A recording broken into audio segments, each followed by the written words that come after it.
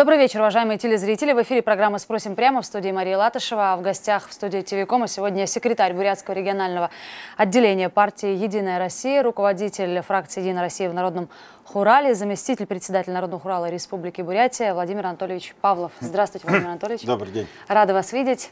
Поговорим о вашей партии, о делах насущных. Давайте вспомним выборы 10 сентября. Это дата, которую много ждали, все ждали изменений в республике. Пути открыты сегодня. Как прошли выборы в республике? Как вы оцениваете? Ну, выборную кампанию прежде всего оценивает избиратель. И, конечно, региональное отделение партии мы тоже оцениваем. Мы не так давно провели заседание нашего регионального политсовета, обсудили итоги, но также оценивает итоги выборной кампании и вышестоящие органы партии. Мы, кстати, получили телеграмму от нашего генерального секретаря Э, после выборной кампании Неверова Сергея Ивановича, который поблагодарил за высокие результаты, как по выборам главы Республики Бурятия, так и по выборам депутатов муниципальных образований, глав, главы Джидинского района. У нас все-таки 85 было еще мандатов муниципального уровня. Также мы получили благодарственное письмо от имени председателя партии «Единая Россия», председателя правительства Российской Федерации Дмитрия Анатольевича Медведева также он поблагодарил за высокие результаты и пожелал нам плодотворной работы. Но в целом результаты они просто так не даются. Этому предшествовала кропотливая работа. И прежде всего, конечно, э, это внимание было приковано к выборам главы Республики Бурятия. Но кроме этого я уже сказал, что мы еще проводили и муниципальные выборы. У нас проходили в Республике Бурятия 85 мандатов. Это выборы э, главы Джидинского района, выборы муниципальные, это Усть-Баргузин, это э, муниципальное образование городское поселение Усть-Баргузинское. Там мы выдвинули э, наших кандидатов в депутаты сельских поселений. И вот из 10 6 наших выдвиженцев одержали победу. Также муниципальное образование сельских поселений Баргузинское – также из 10, кстати, тоже одинаково 6 наших одержали 60%. Жидинский район и Инхорская из 8, э, значит, 7 депутатов наших выдвиженцев одержали победу. Э, Прибайкальский район, это Нестеровская, из 10 9, 90% выдвиженцев одержали победу, стали депутатами. Также э, Нестеровская, это э, Прибайкальский район, э, Заиграйский район, Верх, Верхнекурбинская – из 10 8. Ну вот э, и Джидинский район, э, выбор главы района, э, наш кандидат Царенов Валерий Ильич ну, в такой очень сложной борьбе при помощи партии «Единая Россия», при помощи значит, избирателей одержал убедительную победу, но там было достаточно непросто. И все-таки вот он доверие большое получил, несмотря ни на что. То есть на 85 мандатов муниципального выбора э, уровня мы выдвинули 81 нашего кандидата. Но из них 70% э, в целом это, э, то есть 59 мандатов, это депутаты, это стали, одержали победу кандидата от партии «Единая Россия». Ну, для сравнения, КПРФ 9 человек, а «Справедливая Россия» 1. «Единая Россия» доминирует. Но, как я сказал, э, главный выбор, конечно, главы Республики Бурятия. Мы к ним готовились. И у нас э, в уставе партии четко определено, что на должность высшего должностного лица Республики Бурятия партия должна провести, ну, как и по всем кандидатам, но особенно здесь предварительное голосование. И, конечно, мы это предварительное голосование провели по всей республике. Э, кустовые площадки собирали по несколько, по 3-4 района участвовали в основном члены партии, но, поверьте, дома культуры были переполнены. И наш кандидат, и второй э, человек, который также участвовал, это Бавыкин Юрий Алексеевич. Вот они достойно представляли себя как кандидатами, говорили о своем видении на развитие республики, социально-экономическое развитие, развитие инфраструктуры, в целом улучшение жизни. И 8 у нас э, июня прошла региональная партийная конференция, на которой тайным голосованием большинством голосов э, был выдвинут на должность высшего должностного лица республики, главы Республики Бурятия, кандидатом Цеденов Алексей Самбуевич, который уже до этого работал, был назначен президентом Российской Федерации, временно исполняющий обязанности республики, главы Республики Бурятия. Понятно, Владимир Анатольевич, цифры большие. Москва дала высокую оценку бурятскому отделению «Единой России». Это все понятно, но тем не менее, были ли какие-то нарушения? Не обвиняли ли вас в использовании административного ресурса в прошедших выборах? Э, э, нарушений больших нет. Вот э, именно в этой кампании по выборам главы Республики Бурятия значительных нарушений не было. Об этом констатировал и наша избирательная комиссия республиканская, также и Э, наша Центральная избирательная комиссия, что в Бурятии выборы прошли по главе Республики Бурятия спокойно. И э, впервые, наверное, за это время вот, э, не было таких каких-то жалоб, которые доходили до суда и так далее. Вообще я считаю, что и мы считаем, вот именно так выборы должны проходить, чтобы на волеизъявление избирателей негативные разные факторы не влияли, и избиратель, тем более придя на избирательный участок и избирая главу Республики Бурятия, как э, э, гаранта нашей Конституции, гаранта вообще улучшения жизни, конечно, он, чтобы свое волеизъявление, на его волеизъявление никто не повлиял, чтобы он сам сделал свой выбор. И вот э, это удалось добиться. Перед выборами все делали ставки, прогнозы э, и говорили о том, было бы хорошо, если мы перевалим за 40%. Перевалили за 40%, вот 41-65%, да. да, процентов, 297-397 тысяч избирателей. Э, в 2016 году на выборах федеральных, 18, это 18 сентября, да, на федеральных выборах депутатов Госдумы явка составила 40,5%.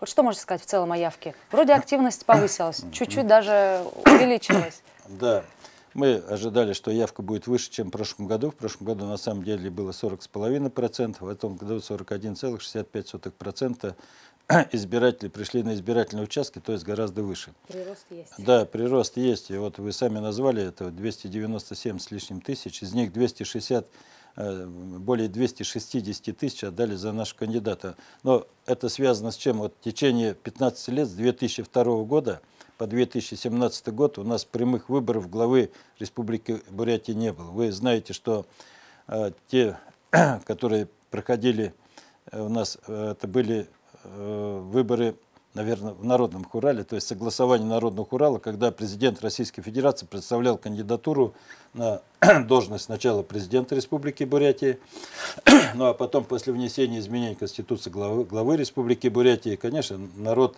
свое вот такое право реализовать и избирать, он пришел и он это сделал.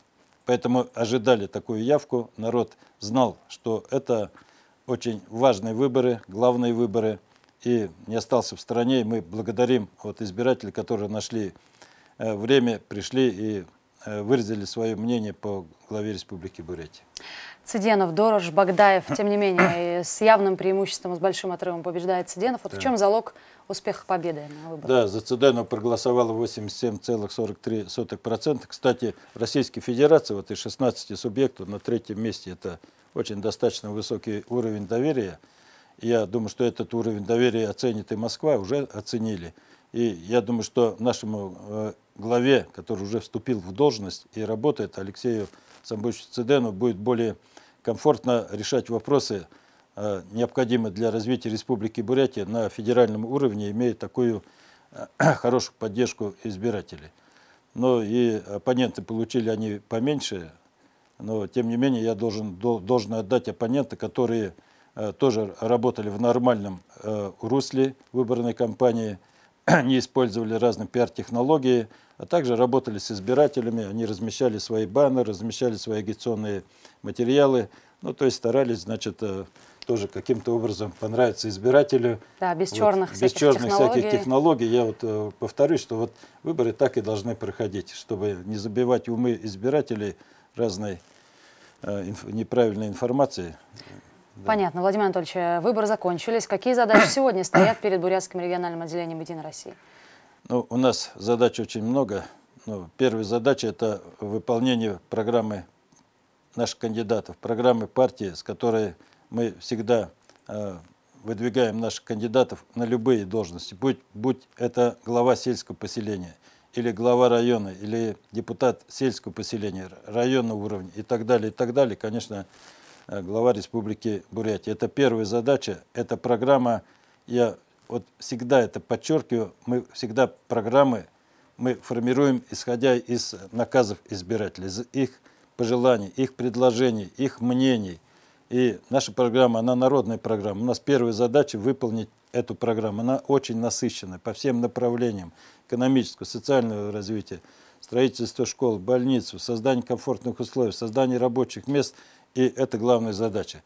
Но для выполнения этой задачи у нас есть э, разные пути. Это одно из путей – это реализация. Мы утвердили партийный проект. У нас есть федеральные партийные проекты, которые внесут в себе э, финансовую составляющую и охватывают социальную сферу. Да, и социальную сферу, и экономическую сферу. Мы работаем над реализацией этих партийных проектов. Но кроме этого, конечно, мы работаем и над партийным строительством серьезно. На сегодняшний день у нас э, членов партии уже почти 17 тысяч человек, членов партии. Сторонников у нас перевалило вот недавно за 15 тысяч. Итого у нас 32 э, тысячи членов партии сторонников на партийном строительстве. У нас 23 местных отделения, 848 первичных отделений. И на выборной кампании главы Республики Бурятия в муниципальных выборах мы эту партийную составляющую, конечно, использовали на, на выборах, и мы сами еще раз убедились, что ну, это был даже своеобразный аудит партии, вот, вот такой избирательной кампании проверить Э, э, нашу такую, ну, скажу, боеспособность нашей партийной организации. Мы убедились, партийная организация у нас здоровая, она не рыхлая, она умеет выполнять задачи. И в этом центральные органы партии, ЦИК партии и Генсовет убедились. Вы сказали, сколько членов, а сколько сторонников. А как сторонников считать, мне интересно? А у нас кто у нас есть первичное отделение сторонников. Чтобы стать сторонником, человек пишет заявление. Значит, принимается решение, и это все в реестре. У нас в реестре, в Москве в реестре. Это не просто так, это все, значит, э, по волеизъявлению человека а... Э, принимаются соответствующие решения, протоколы и так далее. И он официально сторонник, тогда как официально членство? сторонник.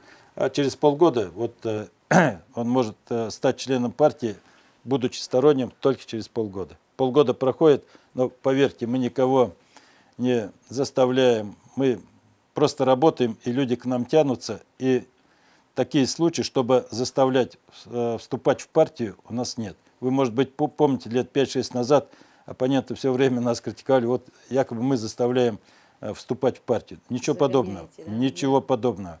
У нас такого давно уже нет, но, может, вначале были убеждения, да, может, некоторые в те годы убеждения приняли за принуждение, может быть, но в течение вот 6-7 лет абсолютно такого нет. И на уровне Российской Федерации такого нет. Вы заметили, теперь даже оппоненты нас не критикуют, и люди еще лучше к нам идут.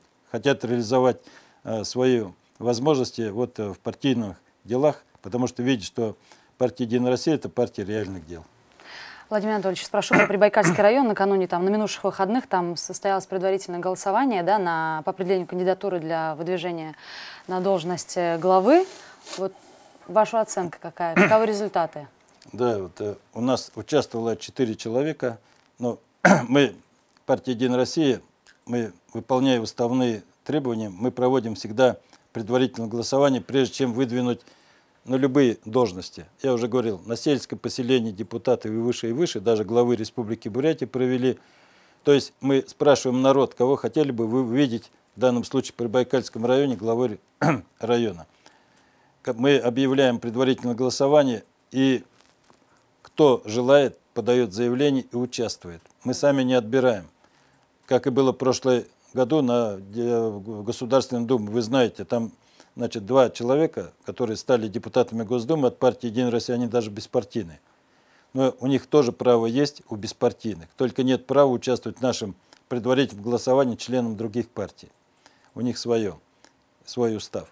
И в Прибайкальском районе у нас э, такое предварительное голосование прошло одержал победу Семенов Сергей Александрович.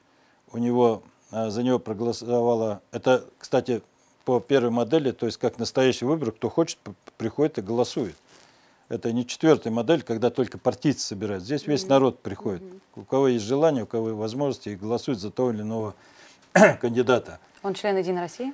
но да, он член Единой России, потом за ним Островский, вот Евгений, он э, глава сельского поселения Турунтайское, третье место Царинджап Тимур Ачирыч занял, и четвертое место Козулин, он индивидуальный предприниматель. А местное отделение партии, кто занял первое место, тем более такой отрыв, а в Островске 300 с небольшим голосов, мы, э, местное отделение нам вчера представило эту кандидатуру на согласование – мы вчера после обсуждения согласовали эту кандидатуру. Мы не нашли там таких существенных причин, чтобы отказать. А существенная причина, если судимость была, там еще что-то, не нашли таких, согласовали. И сегодня местное отделение партии Прибайкальского района, его будет выдвигать уже на кандидатом, да, на главу э, Прибайкальского района. района да. Ну, понятно, что в выборной кампании по Прибайкальскому району на должность главы района будут участвовать и другие самовыдвиженцы. Я думаю, что там будет не меньше, чем в Джиде. В Джиде было 7 человек. Но там у нас одержал Валерий Ильич Дожич. Но мы будем, конечно, помогать нашему кандидату. Э, но это обычная работа с необычными приемами. Раз Со стороны за... особенно оппонентов. Если заговорили о кандидатах, мне интересно вот в завершении программы услышать ваше мнение о команде Циденова. Все мы знаем, на вчерашней сессии Хурала а, утвердили нескольких зампредов. Как ваше мнение? Какова команда сегодня собирается? Ну, прежде всего, я должен сказать, что мы провели заседание фракции «Единая Россия» в Народном Хурале. Депутатов у нас фракция 46 человек. Вчера присутствовало в пределах 35, явка была хорошая.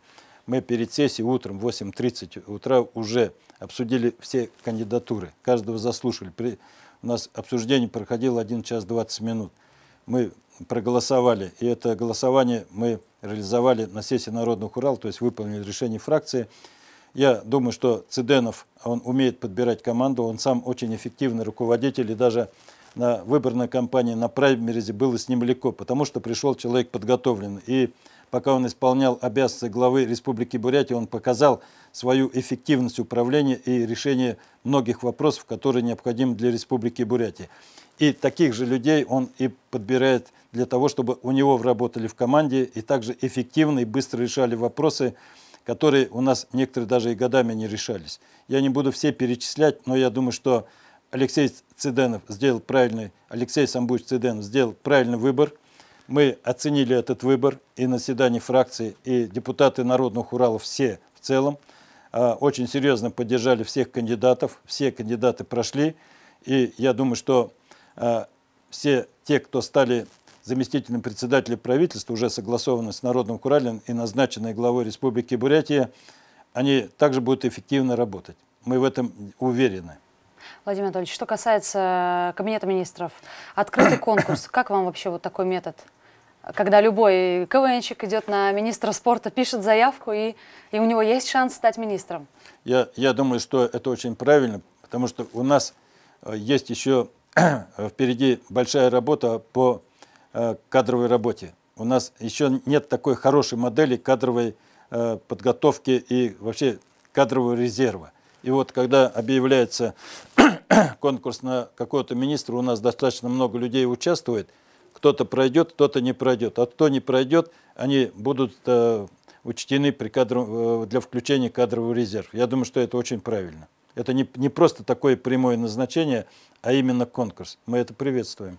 По сути, уже в конце октября, по-моему, 23 октября, да, уже определяться? Или когда будет решение о назначении министра? Но еще точной даты нет. Эта дата, может быть, она такая э, плавающая, да. Но я думаю, что в этом году точно. Ну, в ноябре, наверное, уже узнаем. Скорее да? всего.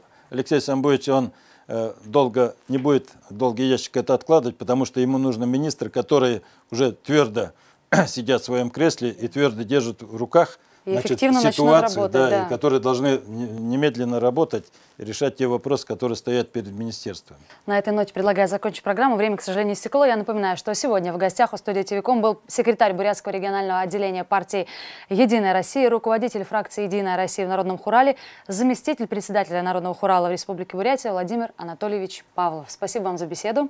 Спасибо. Всего доброго и до встречи в эфире телеканала ТВКом.